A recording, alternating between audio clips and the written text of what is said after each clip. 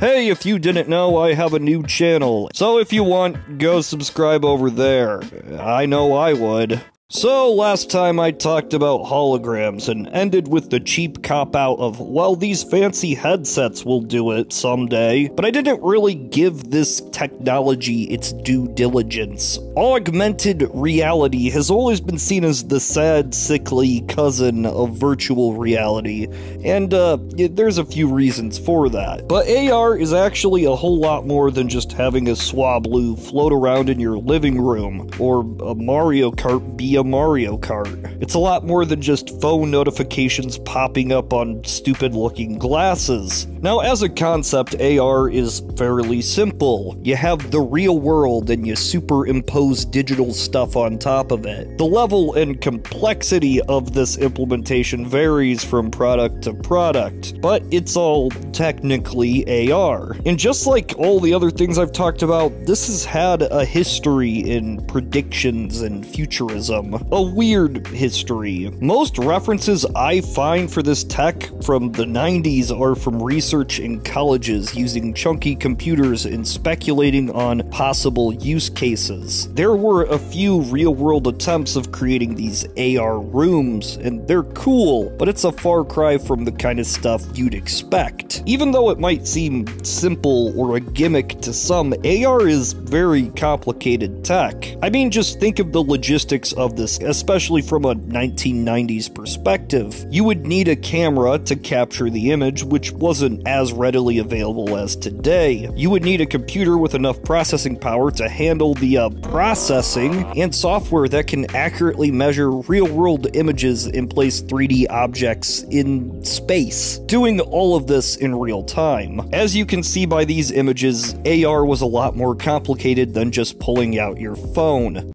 The first wacky prediction I find for AR is from this 2002 article in Scientific American. The predictions and ideas set forth here are more of a cyberpunk esque dystopia, with advertisements and sensory overload commonplace in the future year of 2010. The article also details real world AR systems that were in place during the time, and yeah, they look like that. We find several potential use cases listed, including doctors doctoring and, you know, professional people doing professional things. Instead, the biggest AR use cases came with stuff like the PS2 and PS3 EyeToy systems. Cool tech, but mostly gimmicks, right?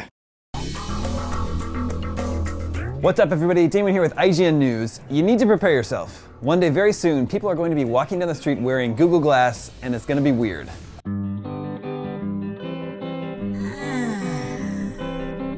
When you call grandma in Nebraska, the NSA knows.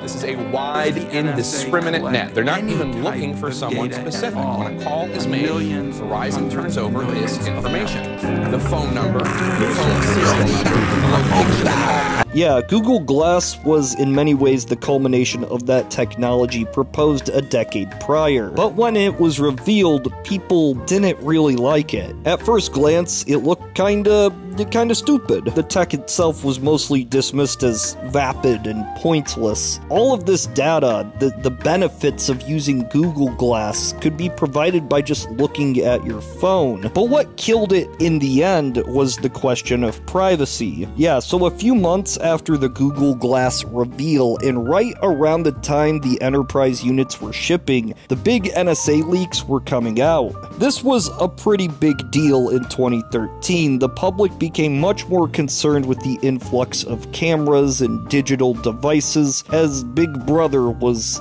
big brothering. Google Glass played into this in all the wrong ways. The idea that at any time anybody could be watching you, filming you, it made people upset. In the end, Google Glass never really took off. It remained expensive and is mostly just a hyper niche market for enterprise and developers. But privacy concerns moved on pretty quickly, and by 2014, many had forgotten about the failures of this AR device. Instead, we were focused on a new promising startup, probably the first in the AR capacity that got a lot of attention. You might remember it, it was Magic Leap. A company and supposed product that had seen massive rounds of investment from major companies. And it really took off once this video came out. Yeah, as you can probably tell now, this isn't what AR was or would be in 2015, not by any capacity. This was concept footage that was shown off to investors, but many took it as the real deal. Around the same time, HoloLens by Microsoft was announced. A big fight was coming, and everybody would be in on this AR hype, right? No. Over the course of the next few years, the tones shifted quite a bit. Magic Leap kept getting more money, more investments, but no product seemed close to release. HoloLens fared a bit better, with actual dev units shipping in early 2016.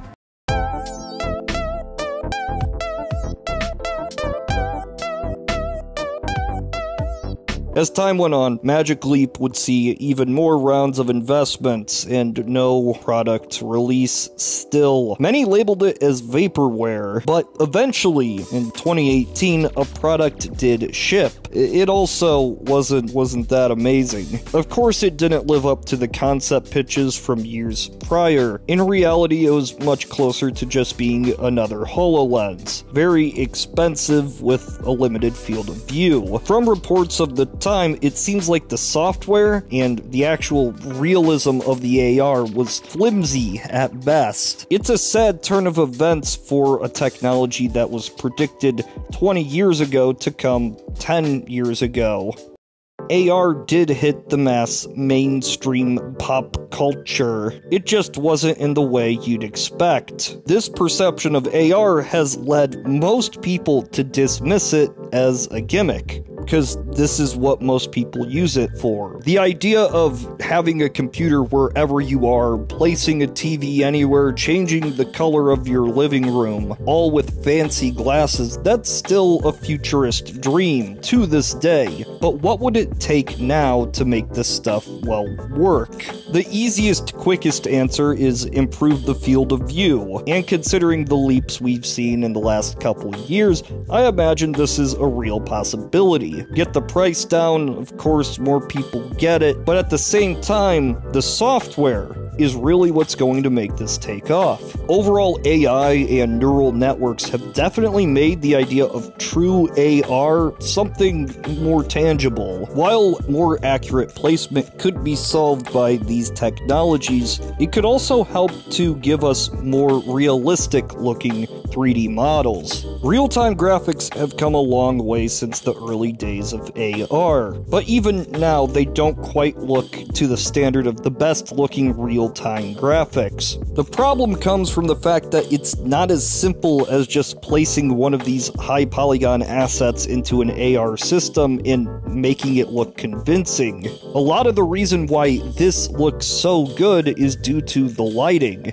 And while in a controlled virtual environment you can just manipulate the lighting as you want, ray traced or not, lighting in the real world is a little bit different. You would need augmented reality systems and software that determine the light input of an image and bounces in a single room and how to integrate that in real time basically measure the lights of a room and accurately recreate that. Even in traditional CGI rendering, this kind of technology is really new. I've seen mentions of stuff like Weta Digital using lights of a scene and realistically implementing that information into a render, but this is on the best powerhouse computers and not in real time. It's possible in a couple years that AR takes over enterprise, becomes a mainstay of professions, or replaces the smartphone entirely. The possibilities of this tech are limitless. Or, I guess we could just play with our Swablus. Also, watch my other channel.